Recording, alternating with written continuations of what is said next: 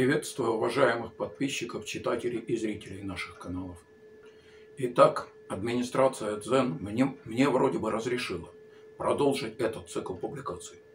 Они пришли к выводу, что они исторические, не затрагивающие остро-социальную тематику и могут быть восприняты неоднозначно.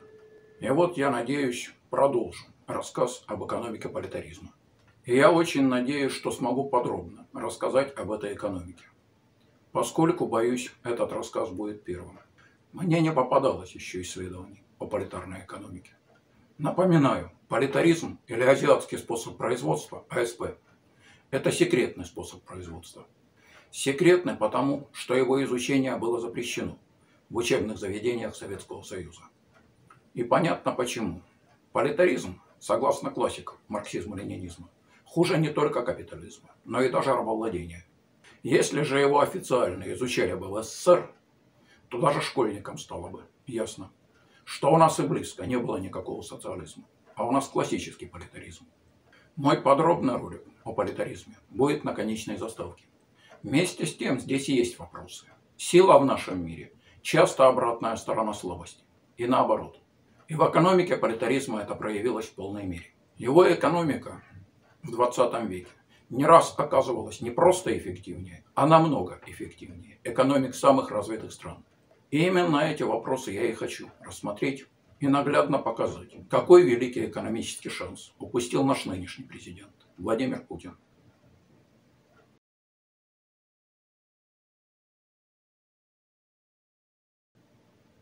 Итак, сейчас мы рассматриваем индустриализацию в Советском Союзе, которая, которую многие называют экономическим чудом. И резон есть. С 1929 года по 1941 год ВВП Советского Союза вырос в 6 раз.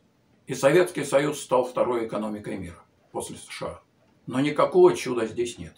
В прошлой публикации я пояснил, что Иосиф Сталин, по сути, взял эти деньги у нас с вами. Взял кредит у будущих поколений. И мы по сей день не можем с этим кредитом расплатиться. Именно это и привело к развалу СССР.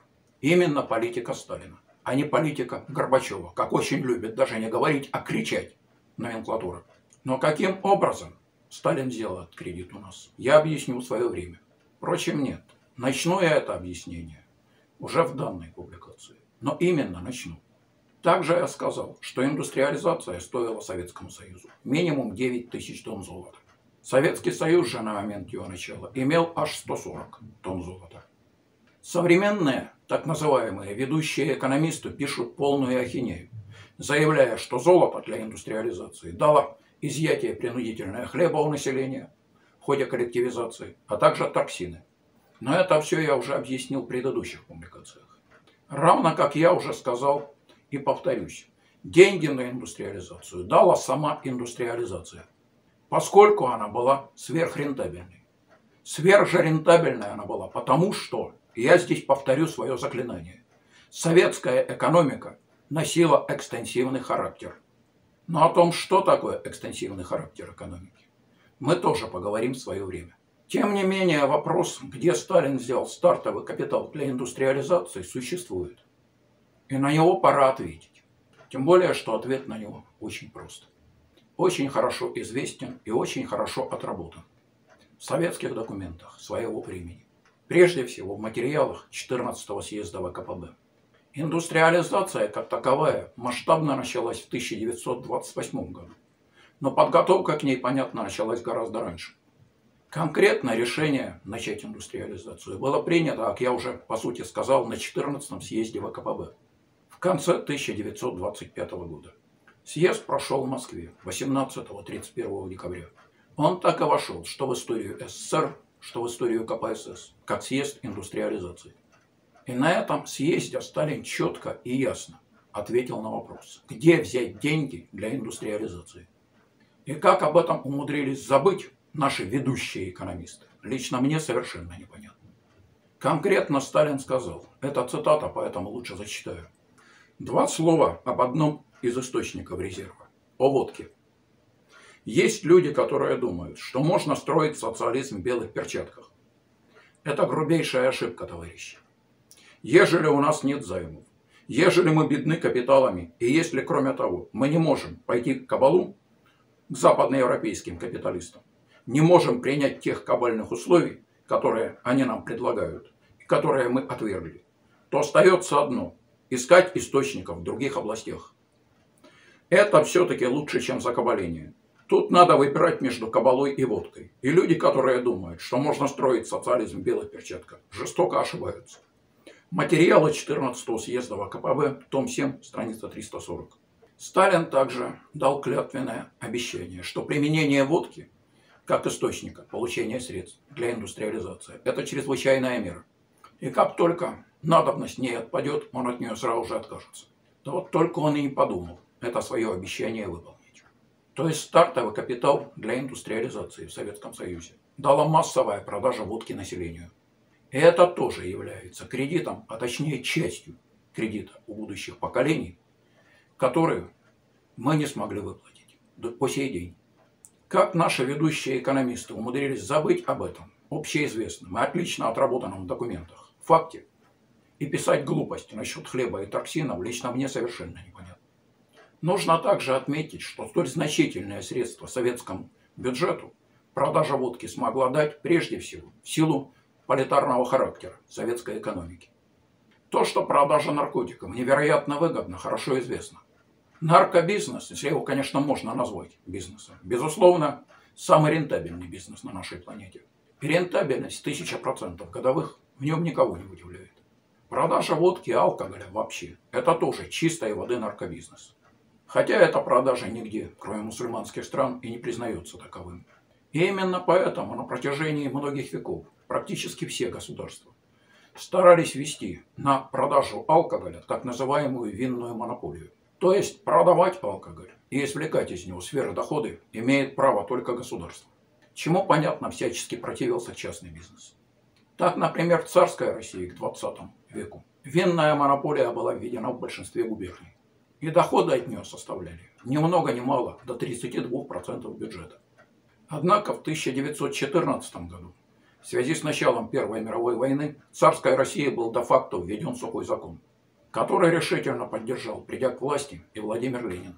Но в 1924 году продажа водки населению в Советском Союзе была возобновлена, а дальше ее продажу начали быстро увеличивать. Равно начали быстро увеличивать и цену водки. По некоторым данным, в 30-е годы водка начала давать порядка 12% бюджета СССР. Но с ними не все согласны, полагая, что доходы советского бюджета от продажи водки были куда больше. Просто они тогда по вполне понятным причинам были засекречены. И должен сказать со всей ответственностью, это очень похоже на правду. После НЭПа государство в СССР стало полным монополистом, а точнее сверхмонополистом, на любую торговлю и любое производство.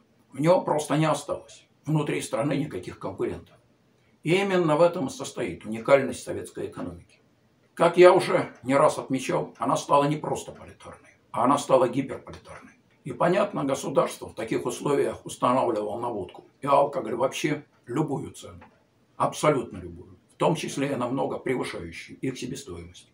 И это дало возможность получать от водки доход, который и не снился царскому правительству. Есть некоторые цифры, их я тоже лучше зачитаю. По данным издания «Коммерсант. Власть», номер 18 от 11.05.2015 года. Я уже сказал, все, что было связано с продажей водки, было строжайше засекречено. А именно, 15 сентября 1930 года Политбюро ЦК ВКПБ было принято сверхсекретное решение «Особая папка» о резком увеличении продажи водки, равно как постепенном, неафишируемом увеличении ее цены для населения. И такая политика начала стремительно но негласно проводиться в жизни. Данное издание дает полную картину, но я скажу только, что в конечном итоге это, это к 1953 году привело к тому, что водка, цитирую, продавалась уже по 40 рублей за бутылку при себестоимости 4 рубля 47 копеек. Царскому правительству такое соотношение даже не снилось. Нужно также сказать, что эта политика была предельно лицемерной и проводилась в условиях так называемой мощной антиалкогольной кампании, которая начата была руководством Советского Союза в 1929 году. И эта политика продолжилась и активно продолжилась и после Сталина. По некоторым источникам, к 70-м годам доходы бюджета Советского Союза на четверть состояли от водки. Скорее всего, они были еще больше, я уже сказал. Я, кстати, настроен поговорить об этом подробнее. На мой взгляд, здесь особенно интересно исследование академика Федора Углова. И я уже начал разговор об этом в большой статье «Правда и ложь об алкоголизме». Первую ее часть я уже публиковал, опубликовал, но их будет несколько. Ссылка на первую часть будет под роликом. Академик Углов считал, что эта политика нанесла просто немыслимый вред нашей стране. В частности, в СССР к 80-м годам практически не осталось непьющих людей, а количество алкоголиков и пьяниц стало просто запредельным. А сколько в результате этого начало рождаться детей-уродов и детей с врожденной дебильностью, это вообще тема для отдельного разговора. И нужно добавить, что полагаю, что сейчас ситуация только усугубляется. И это только первая цена сталинского экономического чуда. И, наверное, она самая страшная, и что еще хуже, самая гнусная и отвратительная. Повторю, позже мы детально поговорим об этом. Но, тем не менее, даже эта цена здесь не главная. Какую главную цену за экономическое чудо мы заплатили и продолжаем платить благодаря великому Сталину? Мы детальнее поговорим в следующих публикациях. Если понравился ролик, ставьте лайки, подписывайтесь на канал, пишите комментарии, делитесь роликом в социальных сетях и на других ресурсах. Смотрите мои аналогичные ролики. Какие именно вы видите в подсказке и на конечных заставках.